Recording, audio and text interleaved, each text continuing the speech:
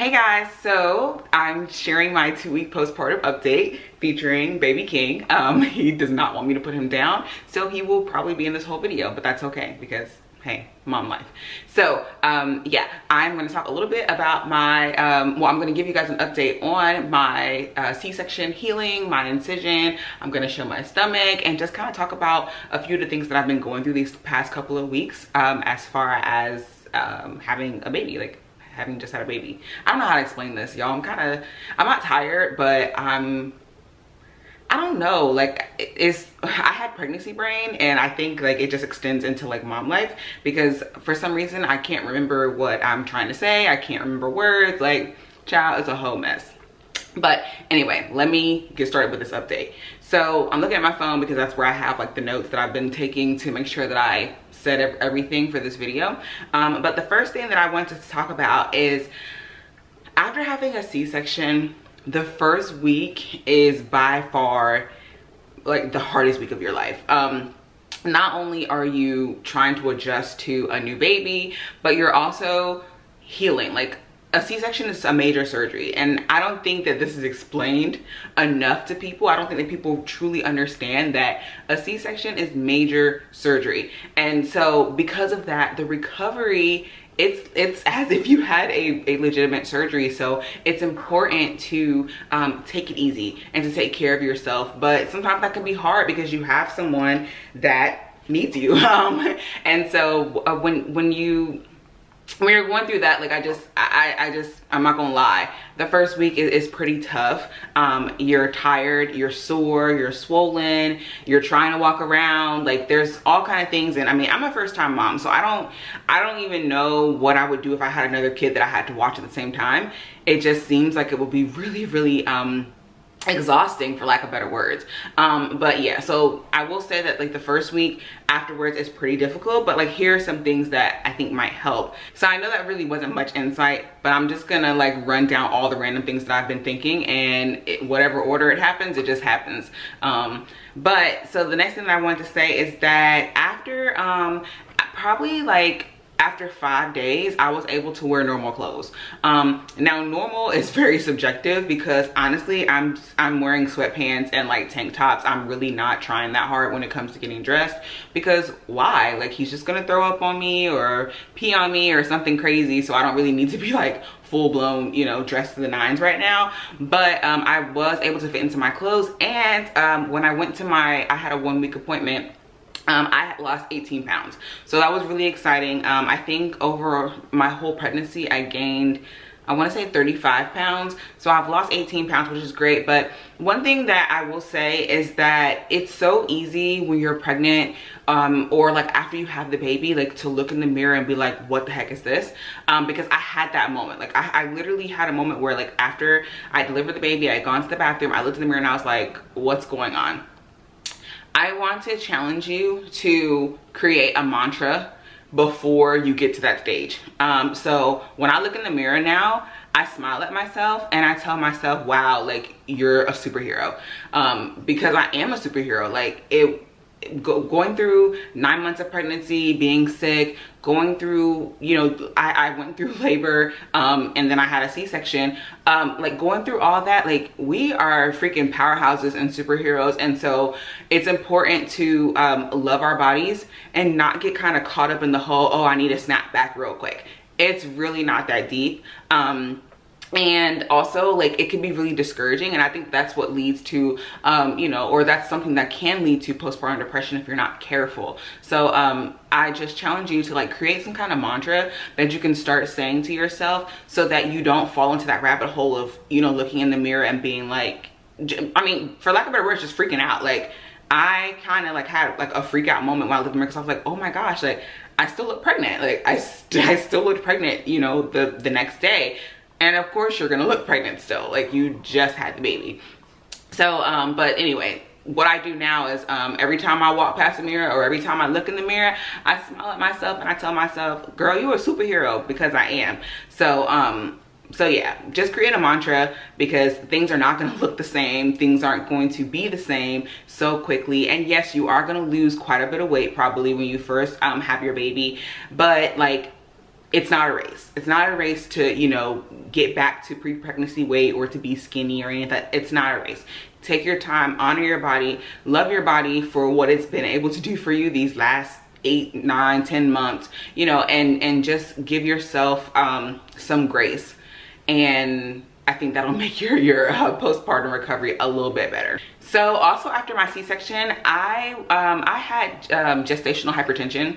So basically I just had high blood pressure. Um, and I had it towards the end of my pregnancy. And something that I noticed is that even after my C-section, after the delivery and everything, I was still swollen up like a sausage. My feet were so swollen I couldn't wear shoes. My legs were so swollen it was ridiculous. My hands were swollen. Um, I'm still, I'm, I'm two weeks postpartum now and I'm still experiencing um, tingling in my fingers. Um, so uh, one thing I'll say is that it does kind of take some time. Like I've, I'm noticing that it's taking some time for me to kind of get back to normal. Uh, luckily, I think around day nine, my feet stopped swelling, which thank God, oh my gosh, swollen feet is just the worst. Um, but so around day nine, my feet stopped swelling. At one week, my legs had stopped swelling um, my hands are no longer swollen, but I am still experiencing some tingling. But, um, you know, I'm sure that's going to go away hopefully in the next couple of weeks. And speaking of having gestational hypertension, my blood pressure is now back to normal. Um, I haven't had any issues. Um, I don't even know what happened because I went through my whole pregnancy totally fine. And then probably around week 35 or 34, all of a sudden I had high blood pressure. So um, I'm not really sure what that's about, but one thing that I have been really big on uh, my entire pregnancy and especially now is drinking a lot of water um, just to flush my system out because with a C-section I was on tons of medication. Um, you know they gave me tons of um, drugs via my IV and stuff. And then the medicine that you take when you go home uh, for pain management and stuff like that you know I just really um, have been adamant about making sure that I'm flushing my system out like I need to. So um, I think drinking water definitely helped uh, reduce all the swelling. Um, and I mean, even though I'm still feeling a little bit of tingling in my fingers, it's it's not nearly as bad as it was before. So I'm I'm thinking that the water is actually helping with that also. So um so yeah, that's just another note. But I no longer have high blood pressure, which I'm so thankful for because they put me on blood pressure medication. I was just like, oh, I don't want to take this stuff. So I'm glad that I've gotten that down and it's been two weeks so it's perfect. So speaking of uh, medications and stuff, when you leave the um, hospital, they give you um, pain medication uh, because I mean a C-section, you're gonna have some residual pain afterwards. Um, and so,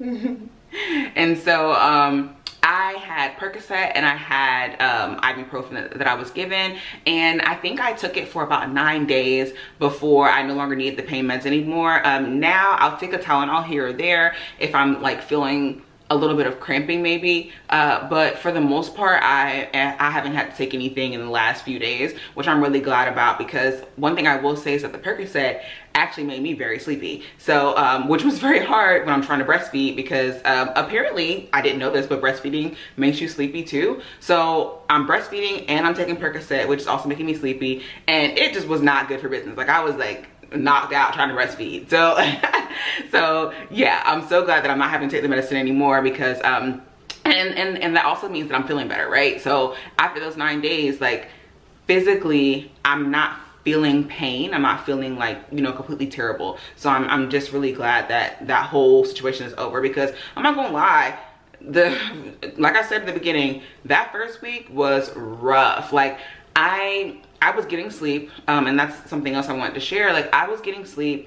There was, you know, there was no problem, but the pain, like the cramping, because your your uterus has to um, shrink back to size, and you know your organs are moving back into place and stuff like like all of that stuff hurts your incision area that can be a little bit painful um, and when i say painful it's like tenderness and cramping and um, you know your body is tired. Like even if you're not mentally tired your body is tired. And that's one thing that i realized. There's like a distinction between my body being physically tired and my mind being you know like i'm on 10 like oh my gosh i'm a mom. Like this is great you know. But um one thing that my doctor reminded me is that even when you start physically feeling better it's important to still take it easy because you did just have a major surgery. Um, and so one thing I realized a few days ago, I made a mistake. I was feeling great. I was feeling like on cloud nine. I was, you know, physically I felt great, mentally I felt great. So I decided I was gonna all of a sudden clean my house. Why did I do that? First off, I don't clean my house when I'm not, you know, when I didn't have a kid and when I wasn't pregnant, let alone after a major surgery. So I decided to clean my house. Well, I decided to clean a couple of rooms in my house. And um, that night I was just like in pain. And, and I realized at that point, what my doctor was trying to say. Like you may think that you're feeling fine, but your body is still healing and trying to recover. So it's very important no matter at what time to take it easy at least up until you have your six week appointment so from here on out i'm definitely not going to be doing all that extra i'm gonna you know dial it back a bit because your girl was just doing too much so something that I haven't heard many people or really anybody talk about is muscle weakness. I have been experiencing so much muscle weakness, it's ridiculous. I'm talking like not just my stomach like of course your stomach is going to experience some weakness because you've been pregnant all this time so your your abs are you know shot to, to hell basically but man nobody talked about like the weakness that you can have in your butt and your thighs and your arms like i feel overall like a genuine muscle weakness um a few a couple of days ago so we're at i'm at day 14 or 15 right now and so um, probably 10 days at postpartum, that's when I finally started not feeling as weak. Um, but even still, like sitting down, I don't know why sitting is like causing me so much stress, but sitting down, like just sitting regularly causes me uh, was causing me a lot of stress. But now everything's a lot better but I, I just wanted to kind of mention that muscle weakness is, is something that you can probably experience as a result of having a c-section. I'm not sure if it happens when you have a vaginal delivery but i definitely know with a c-section at least for me i was experiencing muscle weakness and it I, nobody could have prepared me for that because like literally you know i'm like holding on to rails and holding on to walls and stuff trying to figure out how i'm gonna get up because i was so weak. I was so yeah it's it's insane. So i think i talked about tenderness around my incision. Um now i just i don't feel much tenderness. Um it actually kind of feels numb. I don't really feel much of anything around my incision area. Uh, i from what i've heard from my husband and from doctors and nurses my incision looks really good. I have no idea. I try not to really um look at it.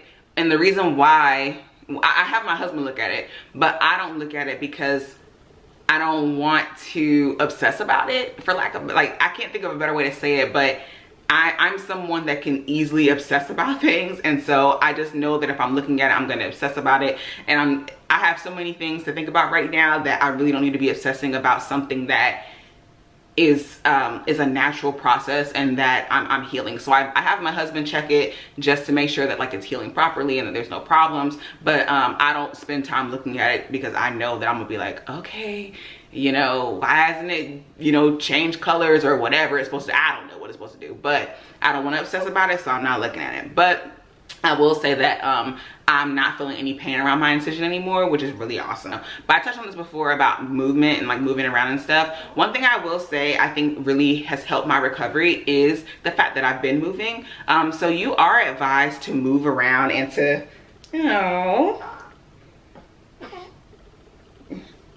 so you are advised to like move around and um, be like like walk okay so i live in an apartment everything's on on one floor and so um when i was in the hospital i got up immediately like as soon as they took the catheter out of me i got up and i was walking around and um you know trying to be active um, and when I came home, I still continue to do the same thing. So I have been able to move around. My movement hasn't been um, my movement was difficult at the beginning um, because when you're first getting up, child, it felt like oh gosh it just it doesn't feel very good to try to get up. Not to mention my bed is really high. Um it's like it's not a low bed at all. So it that didn't help. I had to actually get a step stool um to step up into my bed. Um and then also rolling over is is still even at 14 days postpartum rolling over is still a challenge.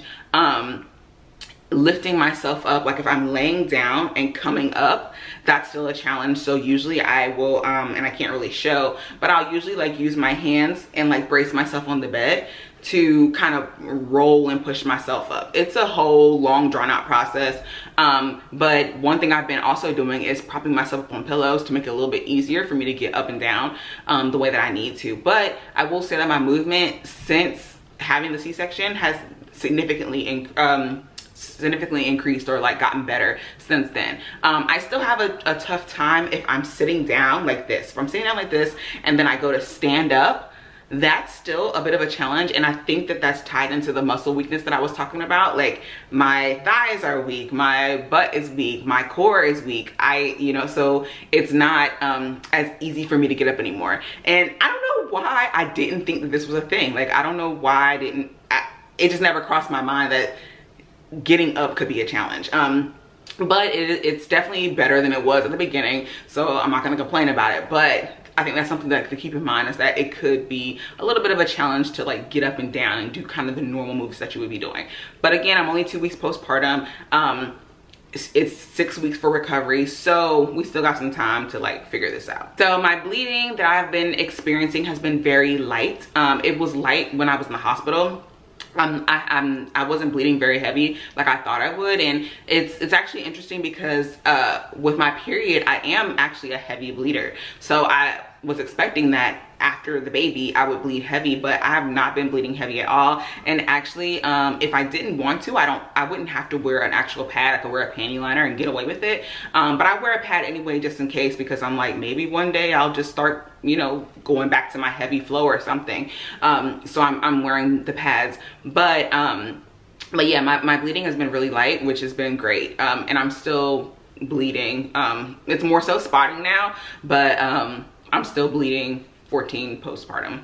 Something else that I have seen, I think nobody talk about except for maybe like in blogs is vaginal itching.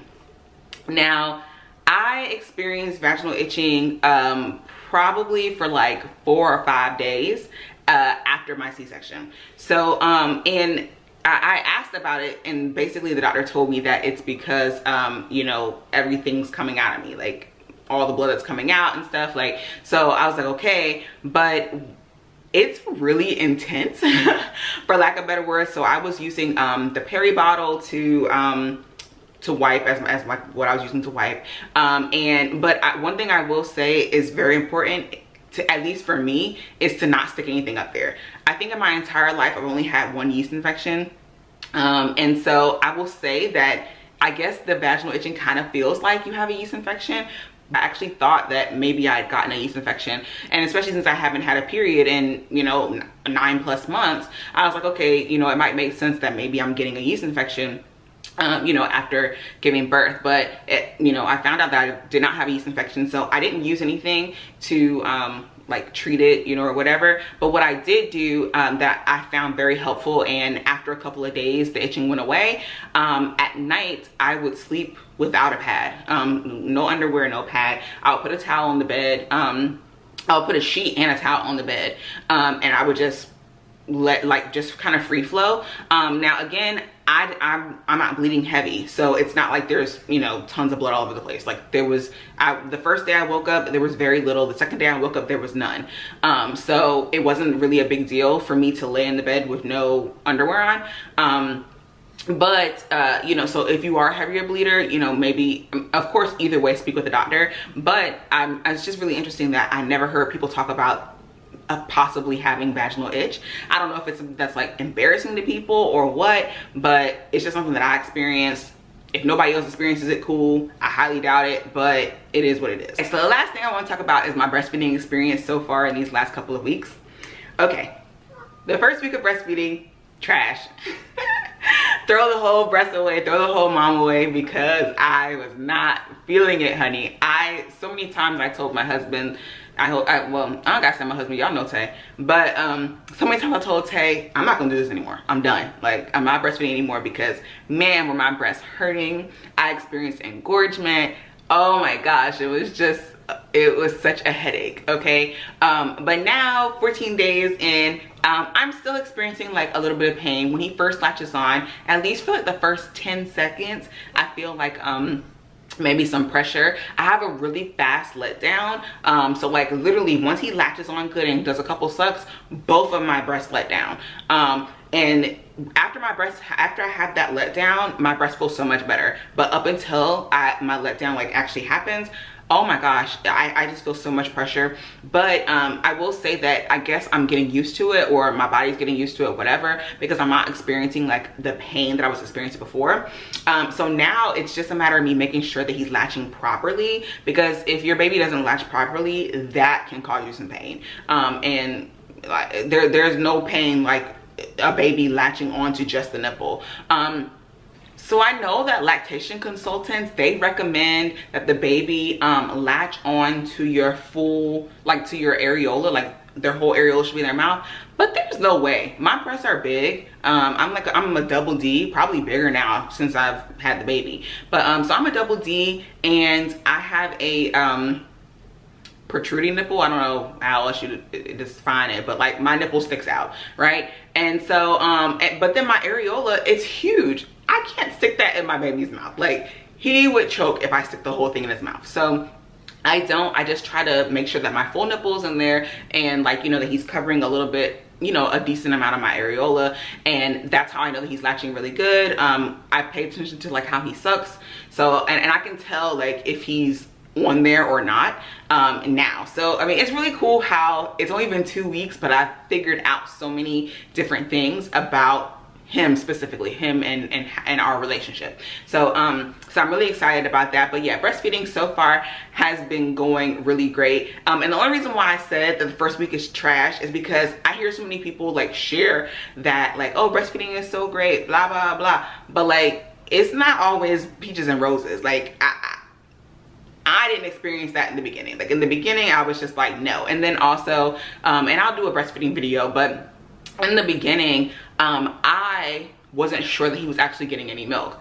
So, um, you know, because at the beginning, it's just the colostrum. And it, if you don't see it, you don't think they're getting it, but he was getting it. So, you know, that made me feel so much better when I realized that he was like gaining weight and all that kind of stuff like he's supposed to. But initially I didn't know that it was actually working or whatever. And so uh, that also had me like a little bit discouraged. But um, one thing i will say when it comes to breastfeeding is that if you keep doing it it gets better. Now for some people it may not. Like i know there are some people out there that um, you know maybe you have inverted nipples. Maybe there's like maybe you just have some kind of issue or whatever and it may not get better for you or whatever or it may still be difficult for you. But I think that if you try to stick with it a little bit, like just don't give up too early or too fast um, because I, I do think that some of the problems kind of work itself out once you and your baby get into a groove.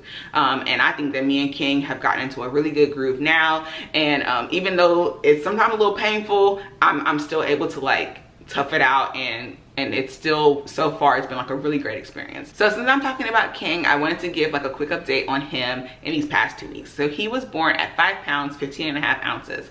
At his one week appointment he was six pounds one ounce. And at his two week appointment he was um eight pounds two ounces. So he is growing so good. I'm so proud of him. Like i just feel so good. Um he has been um, breastfeeding very well. He's been, um, you know, wetting diapers like he should, um, having bowel movements like he should. Um, he was born with a little bit of jaundice and um, his jaundice is is clearing up. That's why we've been going to the doctor every week for them to check his jaundice. Um, and this week, actually, we finally noticed that it was it was actually going away. So I'm really happy about that. Oh, he sleeps really well. Like, oh my goodness, I I people are always asking me like oh how are you feeling whatever whatever. I feel great because he sleeps good and i sleep with him. So it's not a big deal. Like actually i should be sleeping right now because usually i sleep when he's sleeping but it's not a big deal. I wanted to record this video but um, he sleeps so well, which I'm so grateful for. Um, and the only kind of, not downside, but the only thing that um, I'm experiencing right now is that he likes to be held a lot. Like if I put him down right now, he'll wake up. Um, and so I'm still working on that. We have a really amazing swing that I've been using that I've been able to put him in and that gives me some hands-free time. And then also I have a, um, what do you call those things? Like those little wraps or whatever so i can baby wear. So that's been really exciting. So i haven't had to like hold him like this as much um, but i have been um, baby wearing him and i have been putting him in the swing. But he definitely likes to be held which i'm so happy about because I mean, he's a baby. He's not gonna be a baby forever. So I'm just gonna enjoy all this because I mean, one day he's probably not gonna wanna hug me. Well, he's gonna always wanna hug me. But, you know, one day I might have to beg for him to hug me instead of him just, you know, wanting to be on me. So that's really nice. Um, he also eats a lot. Um, I am feeding on demand right now. I'm not doing the whole um, every two hours thing. I don't have time for all that. Um, so uh, whenever he gives me the cues, whenever he starts like sucking or like making noises or when, if he starts like not reaching towards me because he's not actually reaching towards me, but like if we're laying down, he'll like slide towards me or something. Um, I will just whip it out and give him some milk because I'm right now, I just don't have time to, well, I, I have time, but right now I don't want to, um, I don't want to make him stretch, I guess, in between feedings if he's actually hungry. So I am feeding him on demand. Um, and I have noticed that he eats a lot, um, especially because in one week he gained two pounds. Um, so I, I, feel like he's eating very well um, for two weeks old. He's just so perfect. Like, uh-uh. I love him. but yes, so that's really it with my um, two week postpartum update. Um, I am going to show you guys my stomach. Um, of course, I can't do it right now because I'm holding him, but I will like insert a clip so that you guys can see what I'm looking like two weeks postpartum. But honestly, I'm feeling great. Like I'm so grateful for how um, things are looking as far as like my progress um, since having him. Um, I, I feel really good right now and I literally have no complaints. Um, my incision, like I said before, my incision is healing really well. So yeah, like everything so far is going really good. Um, I haven't had like any traumatic moments or whatever like you know as far as like physically of how i'm feeling or anything like that so that's really good um but yeah so that is pretty much all that I have for my um, postpartum update for two weeks. Um, I'll probably do another one maybe at six weeks like after my six week appointment or, you know, maybe at like two months or something. I'm not sure. But I might do another update uh, just let you guys know like what my progress is at that point. Um, but yeah, those are like the big things um, that have been going on since I've had baby King. So yeah, thanks so much for watching. If you haven't done so already, subscribe and click the bell below to get notifications of when I'm doing new videos because I'm actually gonna try to be more consistent. Um, I'm gonna be doing a lot of um, motherhood, lifestyle, and entrepreneurship videos. So if you wanna see those, definitely give me a subscribe. So until next time, I will talk to y'all later.